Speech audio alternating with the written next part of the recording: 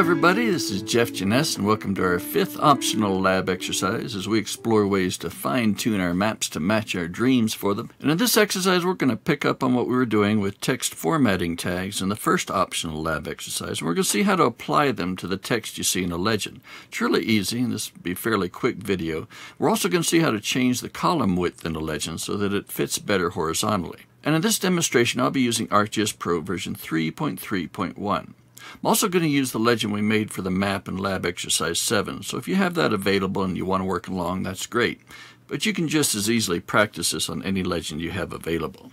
So let's zoom in a little bit to the legend portion of this. I'm just going to scroll into it, pan down a little bit. So what we want to do is add some formatting properties to this text. So parts of it are in color, parts are bold, parts are italic, maybe parts are in different fonts. Now, if you remember, it's easy enough to change the text in here. Like, all you have to do is change the text over here. I just put the word sample in front of that. Then the legend changes automatically. So the key here is to add the text formatting tags over here. So that's what we're going to be doing. Remember, there's a lot more information on text formatting tags, including samples and the four different languages you can use, all available in the appendix to this document. So don't forget to take a look at that if you want to dive deeper into this. And also, for those of you who created a legend that looks something like this and you feel like it's just too narrow and there's no way you can get it to stretch out to the side a little bit, I'm going to give a quick demo of how to fix this, where you can set the, they call this a column width, and you can set the width to be wider. And that way you can have longer names here, and it just makes the text a little more readable. Okay, first thing I'd like to try is to take this text all vehicles in this first item here. And I'd like to change that to the color Ganado Red, sort of a deep maroon color, based on the Navajo rugs that come from Ganado. So to do that, we're going to use the color tag. This is CLR stands for color. This closes the color tag. Now, within the color tag, we have to specify the actual color.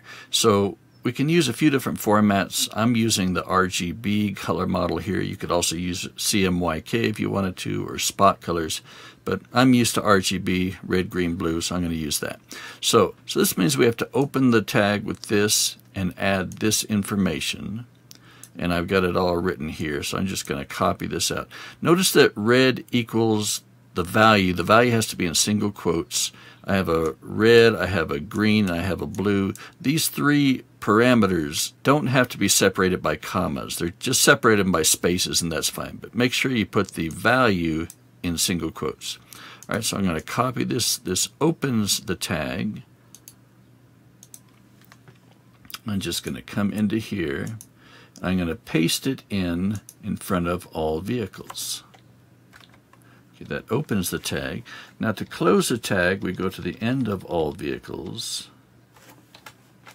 and close the tag. All right. Click off of it, and we'll see all vehicles has turned to Ganado red. All right, easy enough. Next step, let's set the word year long to be a blue color. If we just say blue equals 255, then the labeling engine will just assume that the red and green values are equal to zero. So red 0, green 0, blue 255 makes a pretty bright blue color. So I'm going to put that around the word year long.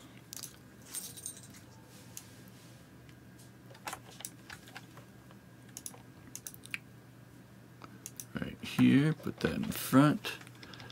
And then we close the tag at the end. Click off of it. And now year long is in blue. Okay. Next we're going to set the text all vehicles to be in a different font. We're going to use Verdana. So I'm, we have to use the font tag for that. So we specify the font within the font tag where name equals Verdana. Again, Verdana is in single quotes. Notice that. So I'm going to just copy this.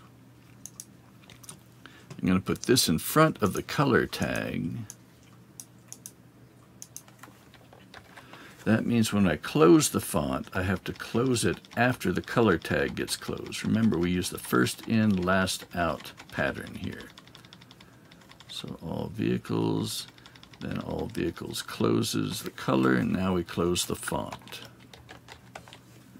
Okay, let's see what that looks like. Yep, all vehicles change the font. Good enough. Now let's put all vehicles in italics. So I'm going to put italics in front of font.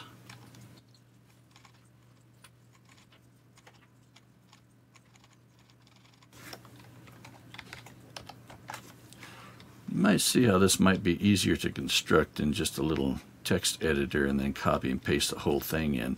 Otherwise, you're doing a lot of traversing in this narrow little thing. Okay, let's close italics. See how that looks. Yep, all, all vehicles turn to italics. Cool, cool. Now let's put all vehicles year long, that whole stretch to be in bold. So I can start the bold here. Now I want to get to the end of year long. These are all the tags around all vehicles. And we're closing all this. Then we start new tags for year long. And we close the color, but now we're going to close the bold. So that whole stretch is within the bold tag. Okay, all vehicles year long are now in bold. And that's pretty much all you have to do. Um, the rest of this lab exercise just shows you how to do the same thing to the other other items. It's really easy. Um, I'm I'm not going to step through that all here, but I just wanted to show you if you if you wanted to do something fancy like uh, put in superscripts like subscripts H, then you could put like subscript to close a subscript O then you can get the symbol for water. Oh, let's get this. This got a space in front of it. We don't need the space there. Yeah, there we go. Uh, if you wanted, you could do superscripts as well, like like E equals MC squared. Close the superscript. So you can get a little bit of nice symbology here, nice text formatting. You know, it's nothing like if you're wanting to do latex and really get a fancy equation formats up here, but it's it's not bad for simple uses like this. All right, so that, that pretty much covers what I want to show. All you have to do is type in the text formatting codes in here. The effects get expressed here in the legend itself.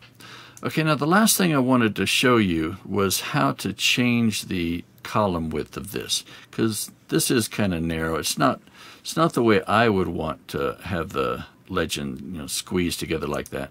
And it, it's kind of annoying because you can make the legend wider but it just doesn't make any difference here. So how do we make the text reach further out? All right so this is one of the legend properties. You can get to the legend properties several ways. You can right click over here and go to go to properties or you can just right click on the legend itself and go to properties or you can just double click on the legend. All of them will open up the properties pane now we want to go to the legend section. We want to come to the legend arrangement options here. Now right in here there's a section for word wrapping. Like we could remove word wrapping altogether and then it just stretches all the way out. And that's a, that's a, definitely an option sometimes. But there are times you would like the words to wrap a little bit. So you have the control over that. So we can turn on word wrapping, but we can make this, say, two and a half inches instead. And then we just get a little bit wider legend. So you have some control over this. Um, my legend is showing the labels over here. You can set up your legend so that it shows descriptions, and both of these are adjustable within this legend pane. All right, everybody, that pretty much wraps it up. Thanks so much for participating and uh, have fun with your maps. Take care. Bye bye.